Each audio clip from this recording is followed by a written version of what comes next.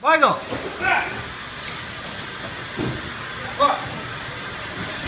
Tell me about your idea over here. Uh, okay, that's my idea. We assembling jam over here erect on the machine. So we can reduce the transportation distance and time.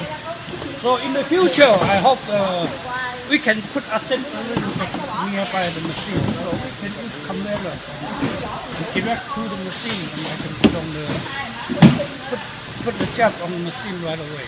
Yep. Yeah. Great. So instead of fully assembling the box sets in another room, putting them all into carts, and then moving those out to the machines, we're assembling the box sets right by the machine. So as soon as they're put together, they go directly into the feeder. And right here, this is the beginning of the job, right when they're they're starting to uh, to get it get it happening.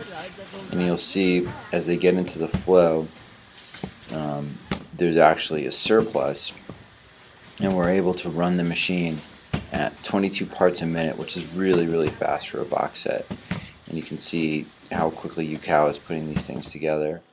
So this saves a lot of it's it's saving on overproduction, um, on overprocessing, and a whole bunch of transportation. So this is pretty lean.